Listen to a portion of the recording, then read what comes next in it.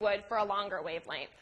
Uh, so we can switch back to the notes uh, and think about what this means uh, and what this means when we're talking about all the different kinds of light waves we have, and I've shown a bunch here, is that if we have the wavelength, we also know the frequency of these wavelengths. So, for example, radio waves, which have very long wavelengths, have very uh, low frequencies, whereas where we go to waves that have very uh, long wavelength or very short wavelengths, such as X-rays or cosmic rays, they in turn have very high frequencies.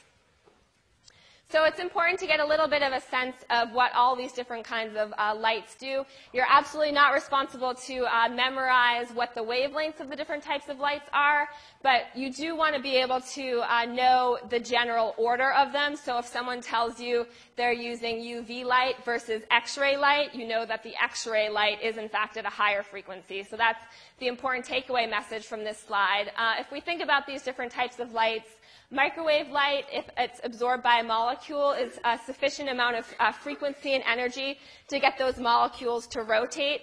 That, of course, generates heat, so that's how your microwaves work. If we talk about uh, infrared light, which is at a higher frequency here and a shorter wavelength, infrared light, when it's absorbed by molecules, actually is enough to cause molecules now to vibrate.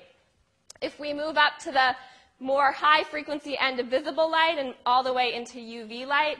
If you shine UV light at certain molecules, it's going to have enough energy to actually pop that, those electrons in that molecule up to a higher energy level, which will make more sense once we talk about energy levels uh, in atoms.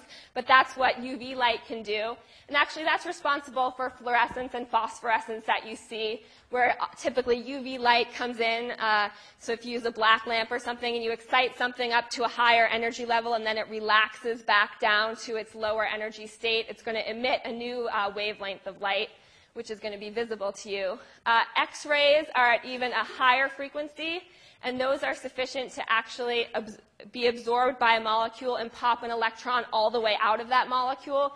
You can see how that would be damaging to the integrity of that molecule. That's why uh, X-rays are so damaging. You don't want to have electrons disappearing for no good reason from your molecules. That can cause the kind of mutations we don't want to be uh, seeing in ourselves. Uh, and then also as we go higher, we have gamma rays and cosmic rays. Within the visible range of what we can see, uh, you also want to know this uh, relative order. Uh, that's pretty easy. Most of us have memorized that in kindergarten, so that should be fine. Uh, just remembering that violet is the end that actually has the shortest wavelength, uh, which means that it also has, of course, the highest frequency. So just an interesting fact about uh, this set of light, which we're most familiar with, if we think about our vision, it turns out that our vision is actually logarithmic and it's centered around this green frequency. So if instead of a red laser pointer here, I had a green one, you'd actually, to our eyes, it would seem like the green one was brighter, even if the intensity was the same. And that's just because uh, our eyes are centered and logarithmic around uh, this green frequency set. So using the relationship between uh, frequency and wavelength, we can actually understand a lot of